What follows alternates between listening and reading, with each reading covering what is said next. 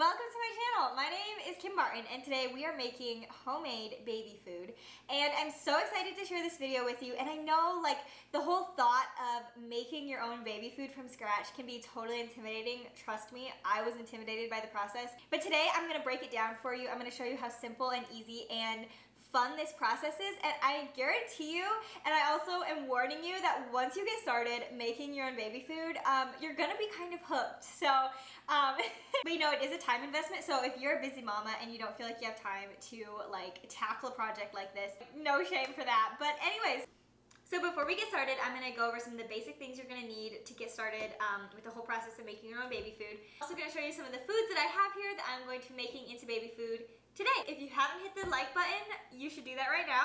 And if you're not subscribed to my channel, I don't know what you're waiting on, but you should do that right now. And let's get started. All right, so excuse the background noise. My baby's crawling around on the floor beside me and moving my tripod around and getting into all sorts of mischief. So really quick, I'm gonna go over a few things you're gonna need. So these are silicone ice cube trays. I recommend using these over the plastic ice cube trays because they're so simple to get the cubes out of. The plastic ones can be a little more tricky to deal with. Right now I have four of these set out, but I'm probably gonna have to dig some more out. I have a few more in my cupboard. All right, then I have a cutting board and a paring knife and a bigger knife. Um, this book is something I cannot recommend enough. This book has helped me out so much um, with my whole baby food journey. In my description box will be a link to my Amazon storefront where I will link this book. What's super cool about this book is it is broken down. For example, like section five is broken down to six to eight month olds, um, what's safe to be feeding them at that age, um, and then just some like really fun recipes and tips and tricks and um, it just teaches you so much. It's a really great book. It has helped me tremendously. So anyways, moving on. All right, so another item you're going to need is obviously a stove top, but you're gonna need a pan and a steamer insert. Um, I have my water in there already, as you can see. Um, you're gonna need your steamer insert. Um, and obviously a lid for that. All right, so let's just go over some of the foods that I have out. So I have sweet potatoes here, I have carrots. I have some avocados here, but I honestly don't think they're ready to be pureed yet, so I might have to just wait and do these tomorrow, but it is very simple to do avocado. I have some strawberries. I have some frozen blueberries back here because blueberries are not in season here where I live, um, so they're kind of expensive to buy fresh. I have some bananas, and then over here I have some canned peaches that I canned myself, um, some canned pears that my mother-in-law made for Callan. And then here we have some green beans that I grew in my garden and canned.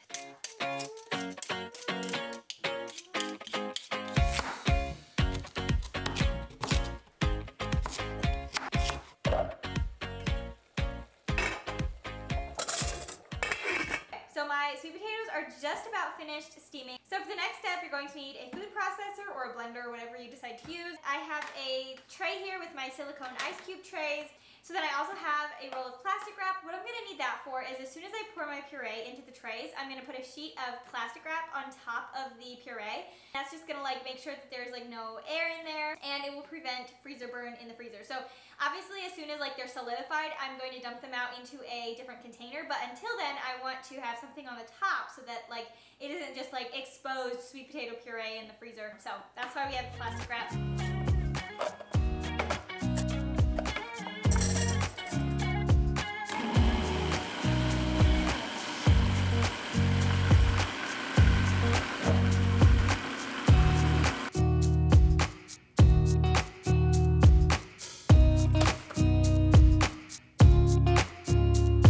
Also, if you are steaming your vegetables, please don't forget to periodically um, check and make sure you still have some water in the bottom of your pan. Definitely not speaking from experience or anything.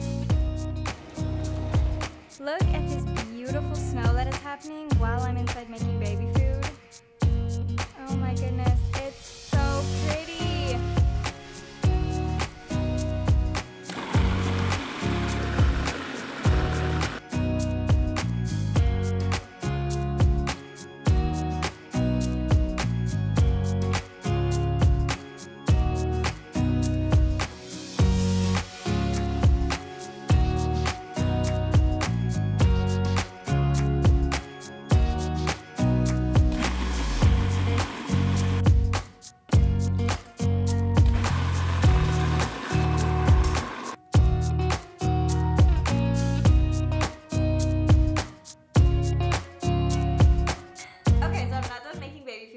But I filled up all of my ice cube trays. So now I have to wait for them to freeze um, and then I'll transfer them to a different container and then I can continue making baby food. But anyways, that might take an hour or two or three, I don't even know. So I will be back as soon as they're frozen and in the meantime I have some editing I can work on and some different things I need to do around the house. So yeah, I will see you in a little bit. Okay, I'm back and it has not been one day, it has not been two days, it has been a lot of days and if my voice hasn't given it away already, um, I got sick, so that was fun. Literally the day after I filmed like the first part of this video or whatever, um, I got sick and I was just like knocked out for several days and I just didn't look good, I didn't feel good. I definitely didn't feel like filming anything, so here we are. Um, but some of my food was gonna go bad, so I did have to puree it and make the baby food. But I think from what I've already filmed, I'm pretty sure you have the gist of it by now. If it's a vegetable, you're going to want to steam it, typically 10 minutes.